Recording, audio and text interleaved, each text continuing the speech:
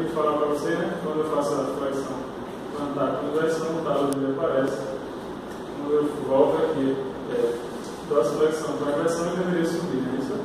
Então, se eu tenho um talozinho anterior também, antes agora você vê uma hora para corrigir tira, e para corrigir o talo, você vai fazer o seguinte, vou fazer uma pegada com as duas mãos aqui, ou posso entrelaçar, Quinta anterior, vou apanhar na frente e para trás. E eu vou trazer o tornozelo aqui, fazendo dorsiflexão, segurar com o todo mundo dá para ver. E tem que trazer na altura, posso trazer na altura do meu peito. Aqui. E a ideia vai ser fazer o seguinte, fazer a contração peitoral aqui, de forma a fazer esse movimento. Tudo bem? Só que tem que ser rápido, porque é uma manipulação. Segurando a máquina. Vou apoiar aqui minha coxa, porque essas marcas às vezes pode dar uma movimentadazinha para frente.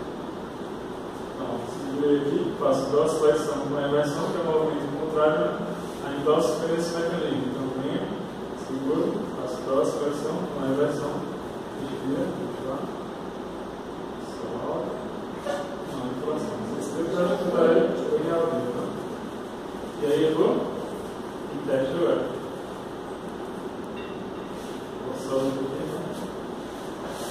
Faz a nossa conexão agora. Está até melhor agora do que o pior. Aumenta mais um pouquinho. Certo? E aí, bota o paciente em pé depois, pede para ele caminhar a gente ver.